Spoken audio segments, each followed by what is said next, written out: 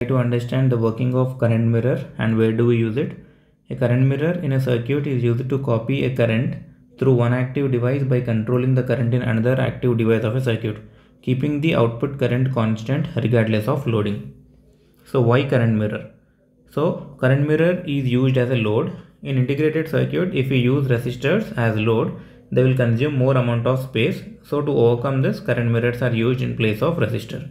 So in order to understand these points, let us see the figure of common source amplifier with resistive load. So here if you observe this is an NMOS where source is connected to ground and this is a gate terminal this is drain terminal. This transistor is denoted with name M1 and at gate we are applying V in and at drain we are taking V out and at the drain, drain terminal I am connecting a load. So here you can consider this as load which is of type resistive. So you can call it as resistive load and this is the supply voltage VDD and here this is ground and I'm making use of an load which is called as load capacitor.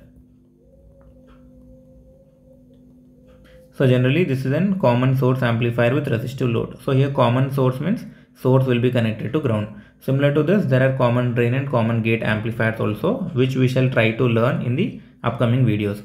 So here if you observe this resistive load RD is used here. So generally in case of fabrication this load resistor RD will occupy more amount of space. So in order to overcome this particular part we can make use of current mirrors. So one of the point is current mirrors can be used as an load.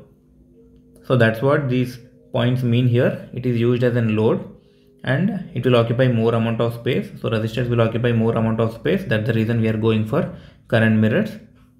Next, you can observe the figure of an current mirror which contains two NMOSs which are connected back to back. So here transistor Q1 is of type NMOS and transistor Q2 is also of type NMOS.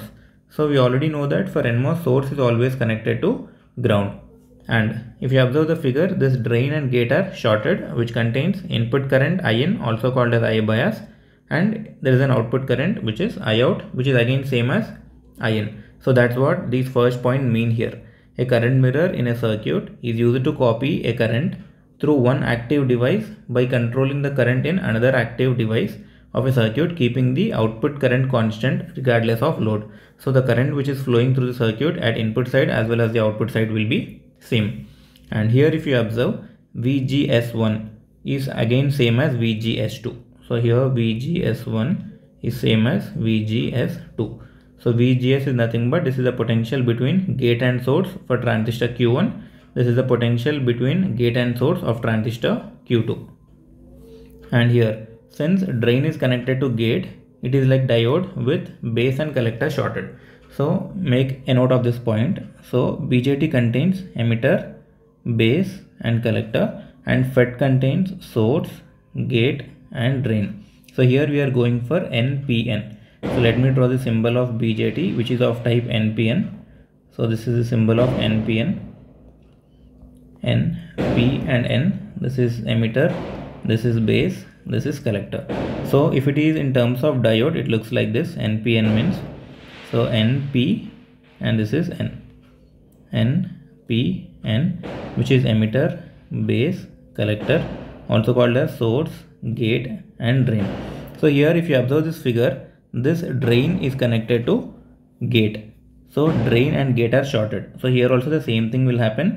This gate and drain will be short.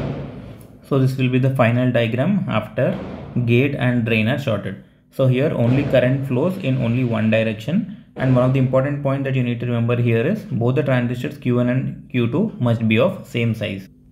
So the conclusion here is current mirror can be used as a load okay so simply instead of this resistor part which occupies more amount of space we are implementing the same thing by means of an current mirror. And this is the diagram for it